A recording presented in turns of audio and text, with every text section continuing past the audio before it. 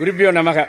ஆன்மீக நண்பர்களே பகவத்கீதையில் வந்து நான் மாதங்களில் மார்கழியாகவும் மந்திரங்களில் காயத்ரியாகவும் இருக்கிறேன்னு பகவான் சொல்கிறாருங்க ஆனால் நம்ம என்ன பண்ணுறோம் புரட்டாசி மாதம் வந்ததுன்னா வீட்டை சுத்தபத்தமாக அலம்பி அந்த மாதத்தில் வந்து நான்வெஜ்ஜு சாப்பிடக்கூடாது ரொம்ப சுத்தமாக இருக்கணும்ன்ட்டு செய்கிறோம் ஏன் மார்கழியில் செய்யாமல் அதெல்லாம் புரட்டாசியில் செய்கிறோம் அப்படின்றத பற்றி சொல்ல போகிறாங்க அப்புறம் பெருமாளுக்கு படைக்கிறாங்க பாருங்கள் அந்த நெய்வேத்தியம் லட்டு படைக்கிறாங்க.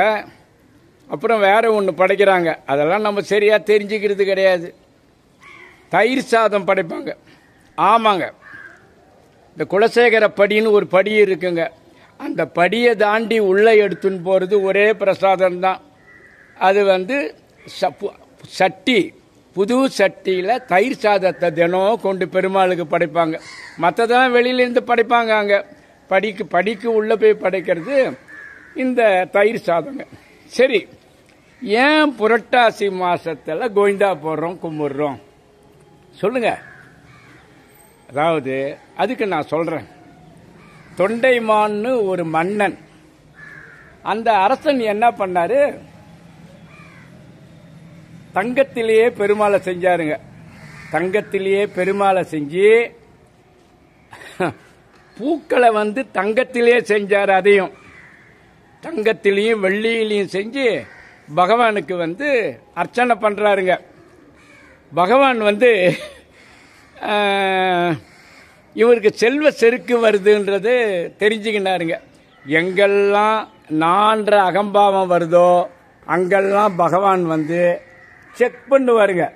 யாரா இருந்தாலும் சரிங்க. என்ன பண்ணாரு? இந்த தொண்டைமான் மண்ணை வந்து போடுறார் பாருங்க. தங்க புஷ்பம் வெள்ளி புஷ்பம். அதெல்லாம் வந்து களிமண்ணா போகுதுங்க. அவருக்கு மனசு கொதிக்குது. என்னடா? நம்ம தங்கப்பூவை போடுறோம் அது களிமண்ணா மாறுது அப்படின்னு சொல்லிட்டு என்ன பண்றாரு? அலறாரு. பகவான் கிட்ட போய் கோயிலில் பக பகவானே நான் ஏதாவது த- தப்பு பண்ணியிருந்தேன்னா மன்னிச்சுக்கோ. நான் ஏன் இதை மாதிரி நான் இனிமேல்ட்டு தவற திருத்தறதுக்கு எனக்கு ஒரு சந்தர்ப்பம் கொடு பகவானே என் கனவுலையாவது சொல்லுன்னும் போது அன்னைக்கு கனவுல சொல்றாருங்க போய் பீமாவை போய் பாருன்றாரு. யாரு பீமா என்ன என்ன தெரியும். ஆனால் ராஜா வச்ச ஆள் அம்பு பட பலமெல்லாம் இருக்குது பாருங்க. போய் பார்த்தாருங்க. கண்டுபிடிச்சிட்டாரு. ஓரமாக நின்று பார்க்கறாருங்க யாருன்னா ஒரு குயவன் சட்டிப்பானை செய்கிறவன் இந்த சைவத்திலையும் சரி வைணவத்திலையும் சரி இந்த பகவான் வந்து சட்டிப்பானை பண்ணுறவனை தாங்க ரொம்ப இஷ்டம். கொஸ்- இந்த குயவர்கள் இருக்காங்க பாருங்க அவருக்கு பேரில் ரொம்ப சாப்பிட்டுக்காரனர். ஓரவஞ்சனை பாருங்க பெருமாளுக்கு. அவரை போய் பாருன்றார் பாருங்க. அங்கே போய் பெருமாளை அவர் என்ன பண்ணுறாருன்னா சட்டிப்பானை செய்யறாருங்க. சட்டிப்பானை செய்யும்போது என்ன சொல்றாரு? கோவிந்தா கோவிந்தா கோவிந்தா கோவிந்தா. இதுதாங்க சொல்றாரு. சொல்லினே சட்டிப்பானை செய்யறாரு. அது மட்டும் இல்லைங்க.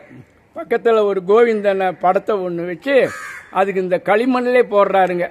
அப்போ ராஜாவுக்கு புரிஞ்சுதுங்க. ஆஹா நமக்கு வந்து செருக்கு வந்துடுச்சு அகம்பாவம் வந்துடுச்சுன்னு சொல்லிட்டு புறப்பட்டாருங்க. அந்த நேரம் பார்த்து பெருமாள் வந்து அந்த சட்டிப்பானை செய்கிற பீமா இல்லை அவருக்கு காட்சி கொடுத்து அவரை வந்து சொர்க்கத்துக்கு வைகுண்டத்துக்கு கூப்பிட்டுன்னு போகிறாருங்க அது வந்து புரட்டாசி மாதம் சனிக்கிழமை. அதனால் புரட்டாசி மாதத்தில் நம்ம பகவானை ஒரு சனிக்கிழமைன்னு எல்லா நாள்லையும் புரட்டாசி மாதத்தில் பெருமாளை நம்ம கும்பிட்டோம்னா நல்லது நடக்குங்க கண்டிப்பாக கண்டிப்பாக நல்லது நடக்கும். இப்போது நான் வந்து உங்களுக்கு திருப்பதி பெருமாளை இப்போ காமிக்க போகிறேன் முதல்ல புரியுதா? சொல்லுங்க. ஸ்ரீ சீனிவாசா கோவிந்தா ஸ்ரீ வெங்கடேசா கோவிந்தா பக்தவத்சலா கோவிந்தா பாகவத பிரிய கோவிந்தா நித்ய நிர்மலா கோவிந்தா நீலமேக சம கோவிந்தா புராண புருஷா கோவிந்தா புண்டரிகாட்சா கோவிந்தா கோவிந்த ஹரி கோவிந்த கோவிந்த கோவிந்த ஹரி கோவிந்த கோவிந்த் அப்படியே சொல்லினே இருக்கணும். நீங்களும் சொல்லுங்க. வீடியோ பார்க்குறவங்களும் சொல்லுங்க. அழகா திருப்பதியை உங்களுக்கு காமிக்கிறேன். பாருங்க. நன்றி வணக்கம். ஹர ஹர ஹர ஹர மகாதேவ். கூட இன்னொன்று சொல்றேன். கோவிந்த கோவிந்த கோவிந்த கோவிந்த கோவிந்தா கோவிந்தா.